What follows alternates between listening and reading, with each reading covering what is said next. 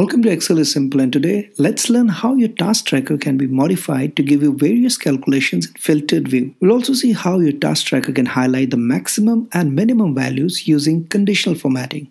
So let's get started. Now in this particular database I got year, person's name, the month of that particular year and then the spend in dollars. Now I want that every time I filter the list I get the spend in dollars. I want the sum of it. Let's add a few rows at the top of this particular table.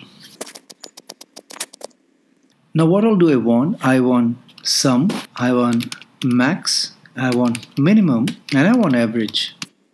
So for sum I'm going to do equal to subtotal bracket start and you can see all the options that are available over here and their number as well the function number which is average count count a max minimum and I want sum so the sum one is 9 comma and then I'll select this entire selection. Remember when you have to use subtotal function you should be selecting the entire column or the entire array to make sure that every time it's filtered you get the correct result. My columns are till 281 so I selected E6 colon E281. Similarly if I want max I'll do equal to subtotal then I'll look for the function number for max which is 4 comma and then this entire and for minimum I'll do equal to subtotal. Minimum which is 5 comma and then the table. Average equal to subtotal. 1 comma and then this table.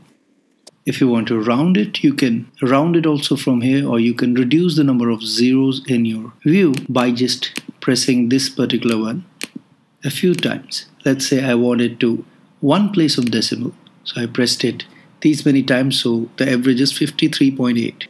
Now, let's say I want uh, to filter out the year 2019. You can see that as soon as 2019 has been selected, all of these have changed as per the selection. Now, if I want to, let's say, select the month of April, here you go, you have the result for the month of April 2019 and as and when I keep changing my filter criteria, my results are also going to change accordingly. Let's say I select August now. So here are your results. You can see that how useful this subtotal function is and it's going to help you a lot. You're filtering a list and you want to visualize the results over there. Now let's say I want to take it a step up and I want to also have the maximum and the minimum highlighted over here in the table. It's pretty simple. I'll have to do the conditional formatting of this particular table. Before doing the conditional formatting, I'll make sure that I remove the filters so that each and every cell in this particular table has the conditional formatting. Now, first of all, now let's, let's say my the conditional formatting for result I want to put. Normally, what I do is that in order to add conditional one, formatting, I, I want add a red a cell that satisfies the condition to make sure that the conditional formatting is applied correctly. So in this particular case, it is this particular cell. So I'll go to conditional formatting, new rule. First of all, I'll select from here classic and here I'll select only format cell that contains and then cell value equal to and I know that this cell value should be equal to the max value which is this one and the formatting I'll change to background color of green okay and okay so now I know that this particular cell is formatted. I'll just copy the format from here and paste it in the entire column.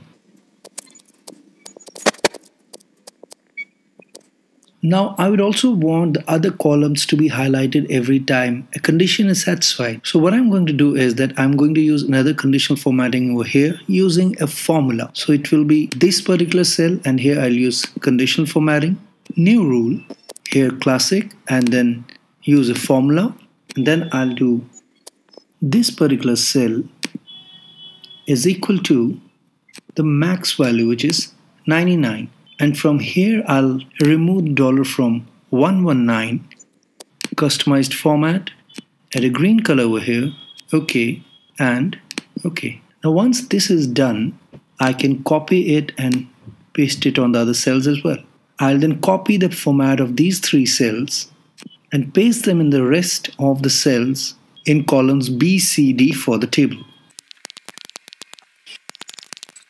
Alright, now that you have done the conditional formatting, let's see how it looks like. Let's say I select 2018 from here and from here I select the month of February.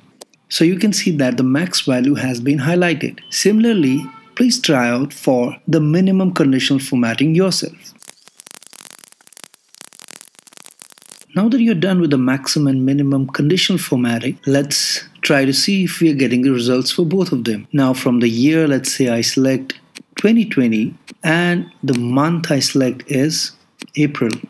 Wow, see how easy it is to use these particular conditional formats and subtotals to quickly analyze your data. I would recommend practicing them and using them instead of relying on pivot tables for which you have to flip tabs to look for data and analytics.